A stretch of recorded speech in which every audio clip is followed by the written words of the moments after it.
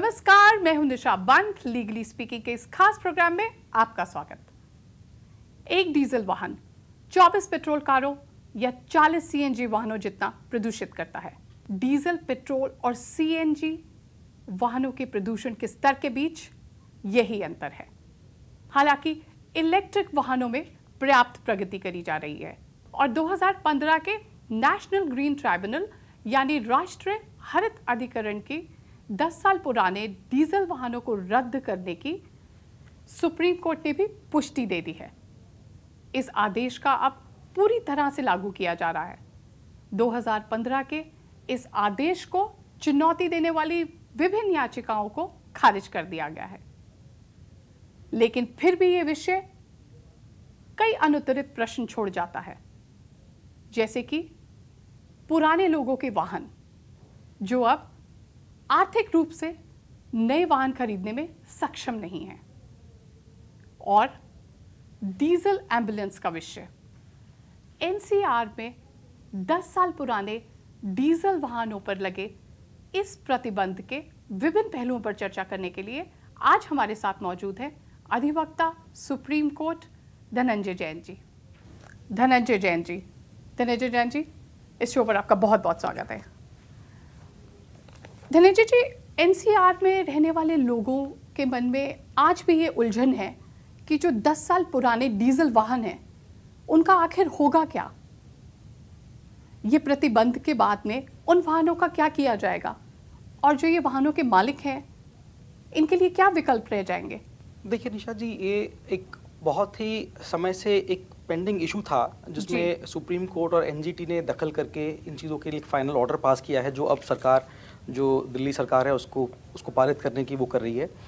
ये एक बात आपकी सही है कि अब 10 साल से जो पुराने व्हीकल हैं जो डीजल के व्हीकल हैं उसको उसको स्क्रैप किया जाएगा उसको रद्द किया जाएगा उसके आगे से दिल्ली में मान्यता नहीं रहेगी जी। जो डीजल व्हीकल है। उसके लिए सुप्रीम कोर्ट का 2018 का जो जजमेंट है जो कि 2016 के और 15 के जजमेंट के ऊपर है एनजीटी के जी। वो बिल्कुल क्लियरली कहता है कि दिल्ली में 10 साल से पुराना डीजल व्हीकल नहीं चल सकता। और अब 2021 में दिल्ली सरकार ने एक पब्लिक नोटिस भी निकाला है। जी। सब लोगों को ये अ, एक तरीके से सबको मालूम कराते हुए कि आपको अपने जो भी व्हीकल हैं जो 10 साल पुराने हैं उनको आपको स्क्रैप करना पड़ेगा खुद से या फिर उनको इम्पाउंड करके सरकार उनको स्क्रैप करेगी। जी धनंजय जी वाहनों के मालिकों के पास में विकल्प क्या है? देखिए आज की जो स्थिति है उसके हिसाब से जो ऑर्डर कहता है और जो दिल्ली सरकार के जो नोटिफिकेशन हैं उसके हिसाब से दो ही विकल्प हैं। जो व्हीकल जो डीजल व्हीकल हैं जिनकी 10 साल की मान्यता थी और जो ख़त्म होने वाली है उनको यहाँ से दिल्ली से वो एनओसी लेके बाहर की स्टेट्स में किसी और स्टेट में जहाँ पे 10 साल की अभी तक मान्यता लागू नहीं हुई है उससे ज़्यादा पेंडिंग है वहाँ वो ट्रांसफ़र करा सकते हैं और वो व्हीकल्स वहाँ पे चला सकते हैं या फिर यहाँ से दिल्ली से उनको बेच के बाहर उनको खरीदा जा सकता है। और दूसरा एक विकल्प ये है कि जितना जो अभी एक इलेक्ट्रिकल व्हीकल्स की एक बहुत आप देखेंगे बहुत आजकल प्रचलित हो गया है तो उसका जो उनका इंजन है उसको वो अपना रेट्रोफिटमेंट एक उसकी प्रक्रिया है जिसे कहते हैं। उसके बेसिस पे वो इलेक्ट्रिकल इंजन करा के उसको यूज़ कर सकते हैं। जी। यही दो विकल्प हैं जो आज के तौर आज दिखते हैं। जी धनंजय जी तो आप ये कहना चाहते हैं कि एक स्टेट से निकालकर एनसीआर से बाहर उन्हें निकालकर किसी और स्टेट में उनका इस्तेमाल किया जा सकता है? या फिर उन्हें वहाँ ले जाकर बेचा जा सकता है? फ़िलहाल जो जो जो स्थिति बनती है वो यही है कि दिल्ली से वाहनों को निकाला जाए। जो वाहन 10 साल पुराने हैं या फिर जो पे- पेट्रोल के जो वाहन हैं जो 15 साल पुराने उनको दिल्ली से निकाला जाए। एक एक बहुत बड़ा एक फैक्टर जो कोर्ट्स के या फिर एनजीटी हो या फिर ऑनरेबल सुप्रीम कोर्ट हो जो उनके माइंड में हो सकता है कि दिल्ली में एक तरीके से बहुत ज़्यादा कंसंट्रेशन ऑफ़ व्हीकल्स और पॉपुलेशन है। जी। तो इसको थोड़ा सा डिसेंट्रलाइज करने के लिए डीकंजेस्ट करने के लिए बाहर की तरफ़ एक वो ऑर्डर किया गया है कि ये इस तरीके से बाहर थोड़ा दिल्ली में क्लस्टर कम हो। जी बिल्कुल बिल्कुल। जी दिल्ली को प्रदूषित जो जितना प्रदूषण का स्तर यहाँ पर बढ़ गया है उससे रिलीफ दिलाने की बहुत ज़्यादा ज़रूरत है। पर हम ऐसा करते हुए क्या हम ये कदम दूसरी स्टेट्स की तरफ़ वहाँ प्रदूषण बढ़ाने में आगे इसका योगदान नहीं रहेगा? हम एक स्टेट से निकाल के अगर हम ऐसे वाहनों को दूसरे स्टेट में डाल देंगे तो एनसीआर का प्रदूषण का स्तर तो शायद नीचे आ जाएगा। पर क्या ऐसा करने में दूसरी स्टेट्स के प्रदूषण का स्तर बढ़ेगा नहीं? देखिए इसके इसके दो मैं इसको दो भागों में इसका उत्तर दूँगा। जी। पहला मेरा ये है कि ये एक तरीके से ऐसा एनओसी नहीं है जो दिल्ली सरकार या फिर जो अथॉरिटीज़ हैं एजेंसीज हैं वो देंगी तो बिना किसी टेस्टिंग के देंगी। जी। उसमें उसमें ऑब्वियसली एक जो पोल्यूशन एमिशन का जो मापदंड है उसके बेसिस पे ही वो टेस्टिंग होगी और अगर वो जो व्हीकल्स हैं वो ये देखे जाएँगे कि ये एक उस मापदंड की सीमित दायरे में है तो ही उनको आगे बेचने की परमिशन अनुमति मिलेगी। जी। दूसरी बात यह है कि अगर ये जो व्हीकल्स बाहर जा रहे हैं वहाँ पे आज कंसंट्रेशन इतना नहीं है पॉपुलेशन का व्हीकल्स का तो शायद जो दिल्ली के स्तर देखे जाएँ उनके हिसाब से बाहर के स्टेट्स में एक स्तर थोड़ा कम है पॉल्यूशन का। इसलिए दिल्ली को थोड़ा सा वो किया जा रहा है कि डिकंजेस्ट किया जाए और थोड़ा सा पोल्यूशन लेवल कम लेके आया जाए। जी एक रिलीफ जो है वो जो एक एक फौरी तौर पे एक, एक कुछ एक थोड़ा सा रिलीफ मिले दिल्ली को। जी। तो पर हम एनसीआर का ध्यान रखते हुए हम क्या दूसरे ऐसा करते हुए हम दूसरी स्टेट्स को इग्नोर करेंगे? और फिर हम जब कल को भविष्य में वहाँ ऐसी सी परिस्थिति खड़ी हो जाएगी जहाँ पर प्रदूषण का स्तर इतना बढ़ जाएगा तो फिर हम वहाँ स्टेट से निकाल के फिर कहीं और स्टेट्स में डालने की बात करेंगे। देखिए निशा जी आपकी बात बिल्कुल ठीक है। हम शायद इसका एक पहलू ये भी हो सकता है कि शायद हम एक परेशानी को एक जगह से निकाल के दूसरी जगह भेज रहे हैं। और उस परेशानी में जिससे आज हम दिल्ली में जूझ रहे हैं उससे पता लगे कि हम शायद पंजाब किसी में और स्टेट्स में जूझ रहे हो। बहुत बढ़ गया क्योंकि ये एक ये एक ऑनगोइंग प्रोसेस है पॉपुलेशन ब्लास्ट हो चुका है इस कंट्री में पॉपुलेशन बहुत ज़्यादा है। एक public transport public infrastructure proper ना होने की वजह से एक प्राइवेट व्हीकल की तरफ़ बहुत ज़्यादा रुझान है लोगों का। तो ये एक सिचुएशन तो है जो आप कहते हैं पर जी एक बच्चों का जैसे एक खेल होता था जैसे पास द बॉल तो क्या हम एक तरह से ये खेल खेलने की कोशिश कर रहे हैं स्टेट टू स्टेट ये कहना पूरा सही नहीं होगा। थोड़ा सा एक ये लगता है कि थोड़ा सा क्योंकि दिल्ली एनसीआर में जो प्रदूषण की स्थिति है वो इतनी ज़्यादा गंभीर है कि जिसको रोकने के लिए ये एक एक एक एफर्ट किया जा रहा है कि जो व्हीकल मालिक हैं उनको पूरी तरह से नुकसान भी ना हो उनके व्हीकल जो कबाड़ में या फिर स्क्रैप में बिकते उनको थोड़ी सी एक ये मिल जाएगा कि उनकी व्हीकल्स बाहर के स्टेट्स में जाके बेचे जा सकते हैं और उनको एक शायद एक रीजनेबल अमाउंट मिल जाए अपने व्हीकल्स का। जी। धनंजय जी, ये प्रतिबंध को लागू करने से जुड़ी समस्याओं के बारे में अलग अलग क्वार्टर्स से वैध आधार उठाए गए थे। जैसे कि जो एनसीआर में ट्रैक्टर्स हैं, वो हज़ारों की मात्रा में एनसीआर में ट्रैक्टर्स हैं। तो ये, वो ट्रैक्टर्स हैं, जिनके मालिक उन्हें अपनी आजीविका के लिए और अपने परिवार को पालने के लिए इस्तेमाल करते हैं। उनका उपयोग अपनी आजीविका के लिए किया जाता है। तो अगर हम ऐसी विषयों के बारे में नहीं सोचेंगे। और अगर हम ये नहीं सोचेंगे कि जिन वाहन जो वाहनों के मालिक हैं उनके पास में पर्याप्त पैसे नहीं हैं एक नया वाहन खरीदने के लिए तो ऐसे अगर हम विषयों को इन चीज़ों से दूर रखेंगे और अ, प्रतिबंध को एब्सोल्यूट बना देंगे तो क्या आपकी राय है इस बारे में कि क्या हम ऐसे ऐसे माहौल में ये प्रतिबंध को एब्सोल्यूट बना सकते हैं? जहाँ हम इन चिंताओं को दूर कर रहे हैं इन्हें एड्रेस नहीं कर पा रहे हैं। देखिए निशा जी मैं इसका इसको इस तरह से जवाब देना चाहूँगा कि एक एक वैक्यूम है जी। जो एक हमारे एग्जीक्यूटिव है जिसको हम कहते हैं कि जो हमारी सरकारें हैं जो हमारी अथॉरिटीज़ हैं जिनको इन चीज़ों पे डिसीज़न लेना चाहिए टाइमली कि वो डिसाइड करें कि हमारा एक रोड मैप क्या होगा। हम्म। हर चीज़ को देखते हुए हर हर स्टेक होल्डर को हर इंसान को मद्देनजर रखते हुए एक डिसीज़न लें। जब ये चीज़ें नहीं हो पा रही आज आप देखिए कि जो ये जो सुप्रीम कोर्ट ने ऑर्डर पास किए हैं एनजीटी ने ऑर्डर पास किए हैं ये आज बिल्कुल हाल फ़िलहाल में किए गए ऑर्डर्स नहीं है। जी ये 2015 और 2018 के ऑर्डर उससे भी पहले के हैं। ये 2018 में तो एक फाइनल ऑर्डर आया है। जी सुप्रीम कोर्ट ने जो पुष्टि करी थी। जी। ये ये जो ये जो प्रकरण शुरू हुआ है ये हुआ है 2001 से शुरू। जी। क्योंकि पोल्यूशन का स्तर तब से एक दिल्ली में एक अलार्मिंग रेट पे बढ़ता जा रहा था और एक स्टेज पे पहुँच चुका था। उसको देखते हुए कोर्ट्स ने खुद इंटरवीन किया जिसे हम जुडिशियल एक्टिविज्म कहते हैं अपनी जी, बिल्कुल। कानूनी भाषा में कोर्ट्स का इंटरफेरेंस हुआ क्योंकि एक वैक्यूम था एग्जीक्यूटिव के लेवल पे अब आप आपका जो सवाल है कि एक जो जो ट्रैक्टर मालिक हैं या फिर मान लीजिए जो जो व्हीकल्स के मालिक हैं जिनकी दलील ये हो सकती है कि हमारा व्हीकल ठीक है हम उसको चला सकते हैं कुछ और समय कुछ और वक्त उन चीज़ों में दिक्कत ये आएगी ही कि एक एक ब्लैंकेट ऑर्डर पास हो गया है जिसकी अभी इम्प्लीमेंटेशन करनी सरकारों का। जिम्मा है पर शायद अगर अगर आज भी सरकारें राज्य सरकारें सेंट्रल गवर्नमेंट अगर ये डिसीज़न लें एक एक रिपोर्ट के तहत या फिर एक पूरी एक डिटेल्ड सर्वे करें या फिर रिसर्च करें और इस इशू के साथ आएँ कि हम इन चीज़ों में भी क्या फाइन ट्यूनिंग कर सकते हैं और उनको किस तरीके से जो एंड यूज़र है उसको किस तरीके से हम एक बेनिफिट दे सकते हैं इस ऑर्डर होने के बावजूद। जी। तो उसमें शायद संशोधन की कुछ गुंजाइश हो शायद कोर्ट दोबारा जाया जा सके जी। पर एक प्लान के साथ। बिना प्लान के अगर जाएँ और ये कहें कि नहीं एक एंड यूज़र को प्रॉब्लम है क्योंकि जो जो जो स्तर पोल्यूशन का है जो प्रदूषण का स्तर है वो इस अलार्मिंग रेट पे है कि शायद दिल्ली वासी कुछ टाइम में सब मास्क लगा के घूमे या फिर सबको एक ऑक्सीजन जनरेट करने के अपने वो अपने घरों में रखने पड़े। बिल्कुल और वो होना शुरू भी हो चुका हो चुका है, है काफ़ी हद तक हो चुका है। वो हर किसी के लिए अफोर्डेबल नहीं होगा शायद इसलिए नहीं कर पा रहे पर एक ये चीज़ अब ये एक प्रचलन में है। जी बिल्कुल।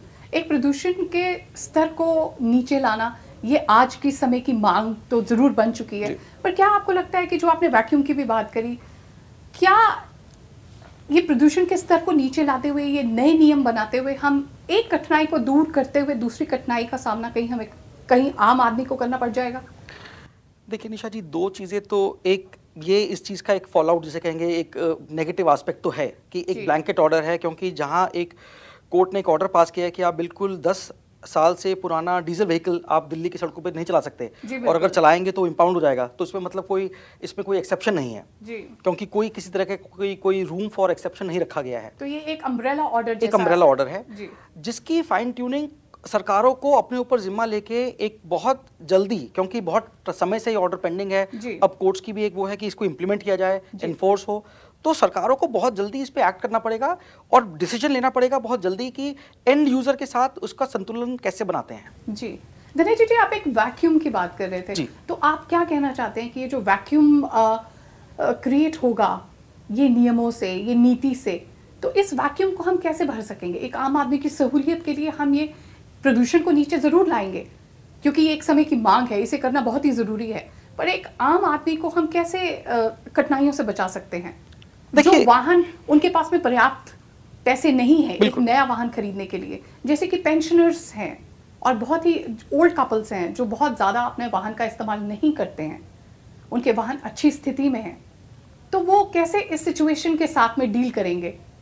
देखिए उस उस उस विकल्प एक विकल्प जो दिखता है वो ये हो सकता है कि सरकारें या फिर एक राज्य सरकारें कुछ इस तरह की, की कोई पॉलिसी लेके आए कोई सब्सिडी ऑफ़र करें कोई एक्सचेंज बोनस दें क्योंकि एक उनका एक बहुत बड़ा एजेंडा ये होगा कि पोल्यूशन के लेवल्स कम हो। उस पोल्यूशन को लेवल करने के लिए उनको सबका साथ लेना पड़ेगा। उस साथ में लोगों का पार्टिसिपेशन मैक्सिमम हो उसके लिए ज़रूरी ये होगा कि उनको सब्सिडीज दी जाए एक एक एक ल्यूक्रेटिव इंसेंटिव दिया जाए कि आप अपने अगर व्हीकल को पुराने व्हीकल को स्क्रैप करवाते हैं सरकारी माध्यम से आपको जो नया व्हीकल लेंगे उस पर एक काफ़ी अच्छी छूट मिले सब्सिडी मिले जिससे उनके ऊपर जो एक बर्डन है जो एक भार पड़ेगा इस पॉलिसी का या फिर इस ऑर्डर का वो बहुत ज़्यादा वो एक स्प्रेड हो जाए और सरकार उसमें एक एक उसको कंधा करे। जी जहाँ हम इंट्रोड्यूस करने की बात करें नई इलेक्ट्रिक वाहनों के बारे में बात करें तो क्या आपको लगता है कि उसकी प्राइस पॉलिसी कुछ इस तरीके की होनी चाहिए कि जो एक आम आदमी के लिए उसे खरीद पाना एक अच्छे प्राइस में वो ए, एक तरह की पॉसिबिलिटी एक रखनी चाहिए सरकार को? देखिए सरकार को इसमें एक बहुत एक्टिव रोल लेना पड़ेगा। ये सिर्फ़ एक फ्री मार्केट और एक फ्री मार्केट ट्रेडिंग नहीं छोड़ सकते कि डिमांड और सप्लाई के बेसिस पे छोड़े। जी बिल्कुल। इसमें सरकारों को एक जो भी सरकार हो राज्य सरकार हो सेंट्रल गवर्नमेंट हो जो भी इसमें रूल्स फ्रेम करती हैं स्टेट स्पेसिफिक सेंट्रल स्पेसिफिक बहुत ज़रूरी होगा कि सरकार इसमें एक एक्टिव रोल ले और इस चेन और डिमांड इस चेन और डिमांड और सप्लाई की चेन में एक बहुत एक्टिव रोल प्ले करे। जिससे जो सब्सिडीज़ हैं जो एक्सचेंज बोनस हैं जो प्राइसिंग है उनको मॉनिटर करे। कि ऐसा ना हो कि एक तरफ़ एक जो वाहन मालिक है वो अपना इस पॉलिसी के चलते या फिर इस कोर्ट ऑर्डर के चलते अपना अपना वाहन स्क्रैप कर रहा है और दूसरी तरफ़ उसको इमीडिएटली एक बहुत बड़े आ, कुछ पैसे खर्चने पड़ेंगे बहुत धनराशि उसको उस पर खर्चनी पड़ेगी। तो उसके लिए कोई कोई रिलीफ लेके आए सरकार। किसी तरह का कोई रिलीफ लेके आए कि उनको ये भार ना सहना पड़े एकदम से। ये रिलीफ की जो हम बात कर रहे हैं धनंजय जी ये रिलीफ हमें कब इंट्रोड्यूस करने की ज़रूरत होनी चाहिए? जब हम ये नियम बना रहे हैं कि प्रदूषण का स्तर नीचे किया जाएगा और दूसरी स्टेट्स में जाके हम यहाँ से एनओसी लेकर, जैसे कि आपने पहले भी बोला कि हम बाहर स्टेट में ये वाहन बेच सकते हैं या इस्तेमाल कर सकते हैं। तो ये नीतियों का जो जिन नीतियों के बारे में आप बात करें, वो नीतियों बनाने का सही समय क्या होना चाहिए सरकार के लिए? क्या ये नीतियाँ आम आदमी की कठिनाइयों के बाद सामने आनी चाहिए? या ये पहले बैठकर ही एक समझौता होना चाहिए कि आम आदमी या ये कठिनाई भविष्य में देख सकता है? अ, और ऐसी कुछ नीति लाई जाए जिससे कठिनाइयाँ कम से कम हो सके आम आदमी के लिए। देखिए निशा जी हमारे यहाँ पे थोड़ी सी एक जो प्रॉब्लम है जो एक पर्सनल तौर पे देखता हूँ और फील करता हूँ कि यहाँ पे डिमांड पहले क्रिएट होती है इंफ्रास्ट्रक्चर बाद में आता है। जी। और डिमांड पहले क्रिएट होने के बाद जब वो डिमांड बहुत डिमांड के बेसिस पे सप्लाई बहुत बढ़ जाती है और एक बहुत ज़्यादा कंजेशन हो जाता है उसके बाद एक पॉलिसी आती है। ये अभी फ़िलहाल जो हो रहा है वही है। जी। अब इसके चलते पॉलिसी पहले आए और डिमांड और सप्लाई बाद में हो तो वो बेटर है। सरकार अपनी पॉलिसी आज बनाए। जी, पॉलिसी मेकर्स को इस पर इस पर कुछ ध्यान देना चाहिए। ध्यान देना चाहिए। और एक एक्टिव रोल लेना चाहिए कि आज पॉलिसी आप बनाएँ और पॉलिसी के साथ साथ आप उसको इम्प्लीमेंट करने के लिए कि ग्राउंड लेवल पे उसकी इम्प्लीमेंटेशन कैसे होगी। जी, बिल्कुल। वो उसको बहुत ध्यान से और इम्प्लीमेंट कराने के लिए अपने जो भी चेक्स एंड बैलेंसेज हैं वो इंश्योर कराएँ। जो ग्राउंड वर्क है जो आप जी। कहना चाहते हैं कि वो पहले से ही एक लेट डाउन ग्राउंड वर्क बिल्कुल। पहले से कर लेना चाहिए ताकि आम आदमियों को कठिनाइयों का सामना ना करना पड़े। बिल्कुल। धनंजय जी केंद्र सरकार की जो वाहन कबाड़ नीति है जिसे व्हीकल स्क्रैप पॉलिसी कहते हैं। वो एनसीआर के नियमों से भिन्न है। जो केंद्र सरकार बात करती है कि वाहनों को उनकी जो सीमा है प्राइवेट व्हीकल्स की जो है वो 20 साल है और जो कमर्शियल की है वो 15 साल उन्होंने रखी गई है। पर जहाँ तक बात आती है दिल्ली सरकार की, उनकी अधिसूचनाओं के अनुसार जो 10 साल से पुराने जितने भी वाहन हैं, उन्हें रद्द कर दिया जाएगा। तो क्या आपको लगता नहीं कि ये केंद्र सरकार की नियमों का उल्लंघन है? देखिए ये केंद्र सरकार के नियम का उल्लंघन नहीं है। मैं ये इसमें ये एक जो मोटर व्हीकल्स एक्ट है उसका एक सेक्शन है उसका प्रावधान है सेक्शन 59 जिसमें आप व्हीकल्स की एज के लिए एक रूल्स बना सकते हैं नोटिफिकेशन लेके आ सकते हैं। उसमें एम्पावर्ड है स्टेट गवर्नमेंट राज्य सरकारें एम्पावर्ड हैं एक रूल्स बनाने के लिए। दिल्ली का एक केस स्पेसिफिक बन जाता है क्योंकि दिल्ली में सुप्रीम कोर्ट ने और एनजीटी ने जो ऑर्डर्स पास किए हैं वो डायरेक्टली दिल्ली के दिल्ली को मद्देनजर रखते हुए करे हैं। जी। तो उस सूरत पे दिल्ली के लिए जो उनको कहा गया है कि अगर किसी की एक रजिस्ट्रेशन अदरवाइज़ वैलिड है पर दिल्ली में उसकी मान्यता सिर्फ़ 10 साल डीजल व्हीकल्स के लिए और 15 साल पेट्रोल व्हीकल्स के लिए ही रहेगी। चाहे उसकी रजिस्ट्रेशन किसी और अ, किसी और ड्यूरेशन के लिए भी हो। जी। तो दिल्ली की जो ड्यूरेशन है दैट वो रहेगी जो दिल्ली में जो कानून कहता है और जो दिल्ली की सरकार के नोटिफिकेशन है। जी। धनंजय जी वाहन को वाहन की फिटनेस को स्क्रैप करने का मापदंड होना चाहिए या फिर वाहन की उम्र का? देखिए निशा जी बड़ा ये एक आपका बड़ा अच्छा सवाल है पर ये सीधा जो कोर्ट का ऑर्डर है और जो नोटिफिकेशंस अब आए हैं उसमें एक इसकी इस तरह का कोई प्रोविज़न नहीं है। जी। उसमें एक बिल्कुल ब्लैंकेट ऑर्डर है कि 10 साल के जो पुराने वाहन 10 साल से पुराने डीजल वाहन हैं और जो पेट्रोल के 15 साल से पुराने वाहन हैं उनको स्क्रैप किया जाए उनको इम्पाउंड किया जाए। जी ये एक बहुत ही बड़ा कारक है प्रतिबंध के विरोध में जो कहा गया है हम्म। कि हम इसे कैसे जज करेंगे? अगर ऐसे कोई लोग हैं जो अपने वाहन को इतना इस्तेमाल में नहीं लाते हैं और कुछ हज़ार किलोमीटर ही उनकी उन्होंने अपने उन्होंने गाड़ी को इस्तेमाल use किया है। पर एक दो साल पुरानी गाड़ी है जो लाखों मील की दूरी। तय कर चुकी है। तो ये इस चीज़ का हम कैसे हम कैसे इस चीज़ को जज करेंगे कि हमें ये वाहन को 10 साल में रद्द कर देना चाहिए? देखिए इसमें ये ऑर्डर जो है वो ऑर्डर में कहीं इस तरह का कोई रूम कोई रूम नहीं है कि कोई स्कोप ऑफ़ एक्सेप्शन हो या फिर कुछ हो। पर जहाँ तक है कि ये एक आपकी जो बात है वो काफ़ी सही है। इसके बेसिस पे मैंने जैसे शुरू में कहा कि अगर कोई पॉलिसी बनती है जिसमें वो एक कहते हैं कि जी फिटनेस कि 10 साल के बाद के वाहनों के लिए भी कोई फिटनेस का एक टेस्ट हो जिसमें अगर दिखता है कि उनका पोल्यूशन एमिशन लेवल उतना नहीं है और उनको परमिशन मिल सके on case to case basis जी बिल्कुल।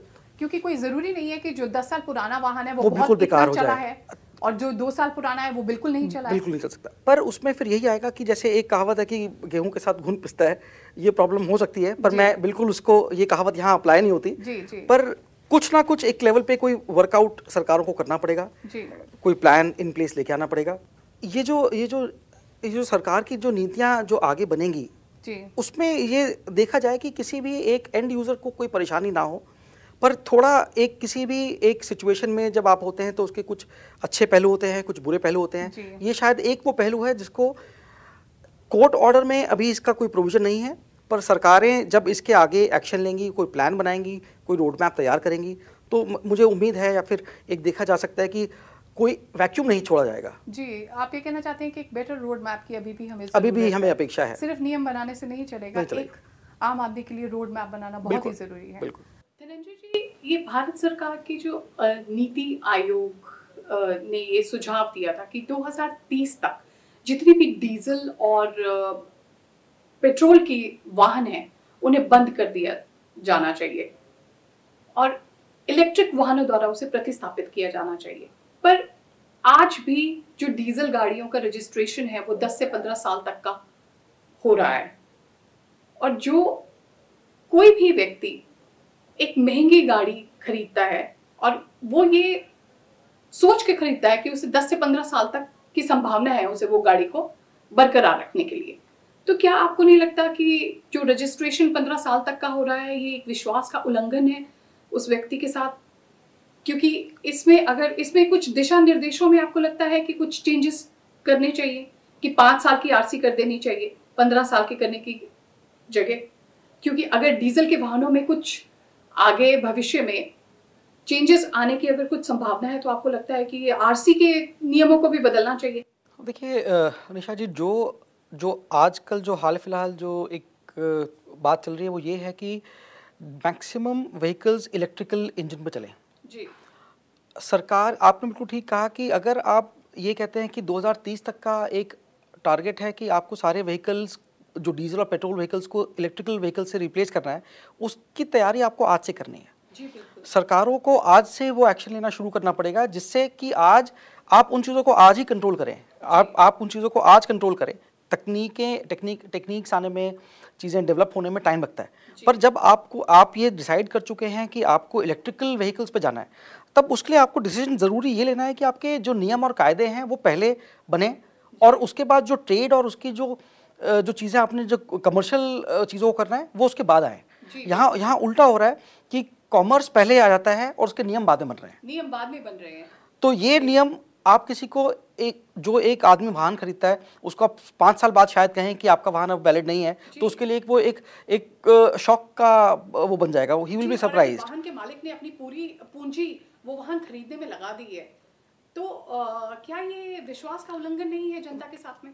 ये विश्वास का उल्लंघन नहीं कहूँगा मैं मैं कहूँगा कि ये एक तरीके से फिर से एक वैक्यूम ही है जिसकी तैयारी पहले सरकार को करनी चाहिए पहले अपना रोड मैप बनाएँ पहले डिसीज़न लें कि हमें आगे 10 और 20 साल सरकारों को जब डिसीज़न लेना होता है तो 10 और 20 साल कोई बड़े वक्त नहीं है। जी। 10-20 साल आगे रखते हुए इसको डिसीज़न लें। अगर 2030 तक इलेक्ट्रिकल व्हीकल्स को रिप्लेस करना है इन जो पेट्रोल और जो डीजल इंजन हैं उनसे उसका डिसीज़न और उसकी तैयारी आज से शुरू हो।